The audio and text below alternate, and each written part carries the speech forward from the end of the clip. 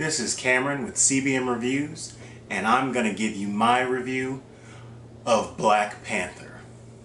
Black Panther was directed by Ryan Coogler. It stars Chadwick Boseman, Michael B. Jordan, Lupita Nyong'o, and Letitia Wright. It also stars Angela Bassett, Danai Gurira. I can't pronounce that right. This movie is spectacular. From start to finish, this is a wonder to behold. And not just because the characters look amazing, even though they do, and not just because the fight scenes are good, because they are, but it's because the scenery and the location of Wakanda is itself a standout performance. In Thor, we were introduced for the first time to a setting outside of what we know. And even so, we were introduced to Asgard. We were brought back to Earth for the majority of the film. In Wonder Woman, we're introduced to Themyscira, Paradise Island, and for it's for a brief moment, and then we're brought back to Earth, the world that we know. The majority of this movie takes place in Wakanda, and it is that much more beautiful because of it. The visuals are spectacular. There's only one, possibly two shots that look a little too much uh, as far as CGI is concerned. Only, only barely distracting. Every single shot is breathtaking. The characters are awesome in this as well. Uh, Chadwick, Chadwick's Black Panther does a stunning job uh, he is not the breakout in this, by the way, uh, but he does a really good job at playing the role of T'Challa. Danai as Okoye, she is phenomenal. She commands every single scene that she's in. If she's in that scene, eyes are on her. Lupita Nyong'o is beautiful as ever. She does a great job. Shuri, who is T'Challa's sister, is really good in this. I hate to say that I was wanting a little bit more, but what I got was was more than what I deserved.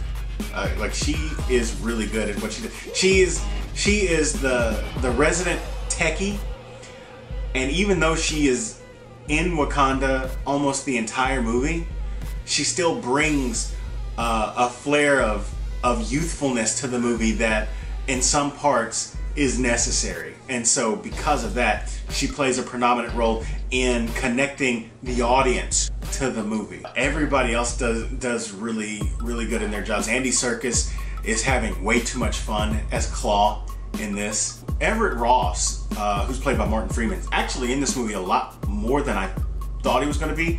They did a good job of hiding that, and it's it's really. Uh, there's not a weak performance in this. Like, if, if a performance isn't excellent, it's still very good. There's really not a scene that's out of place. I saw maybe one scene that was a little superfluous and it lasted for all of three seconds. Like everything about this movie is is spot on. Um, the direction that is done by Ryan Coogler, it, you cannot talk about this movie without talking about the fantastic direction of it. The breathtaking scenery, the storytelling, all of it is done in marvelous fashion. The villain in this, and there are two, there's Klaue and there's Killmonger. Killmonger is played by Michael B. Jordan. There's a very strong sense of dread when dealing with Killmonger.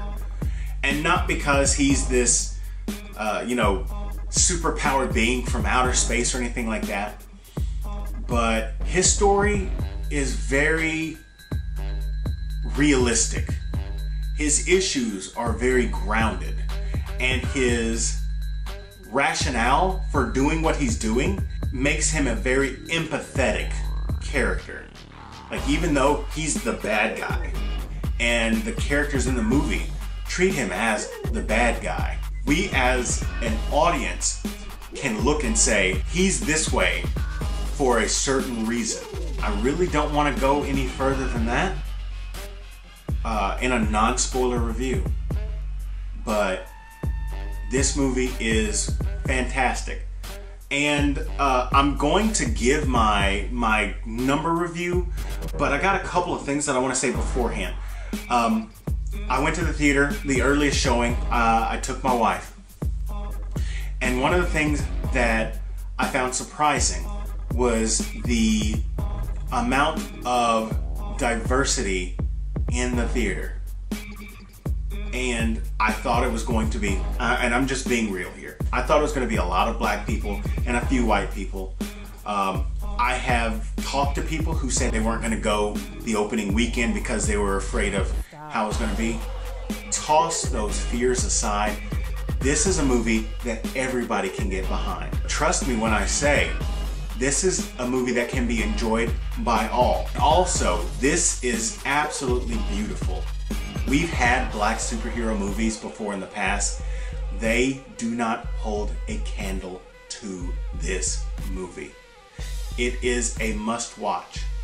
It it is easy to compare it numerically or or thematically to the other movies in the Marvel Cinematic Universe, but there literally isn't anything on the plane. And I'm not saying that it's you know hands down better than the others. It's just so different in a, a, a spectacular way.